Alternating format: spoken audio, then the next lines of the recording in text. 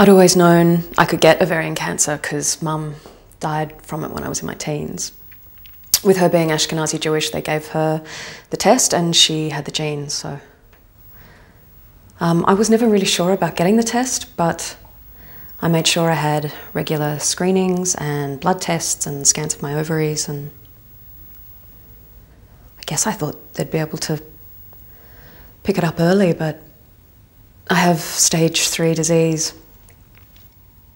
I suppose looking back, I did have some symptoms.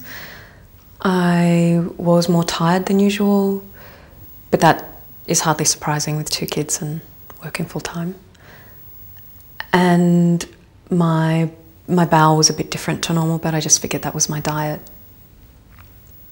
This has really frightened my two sisters. Sheila, the eldest, is going to have the test, and if she's got the gene, she's going to have her ovaries removed. I feel so lucky that my two kids are boys.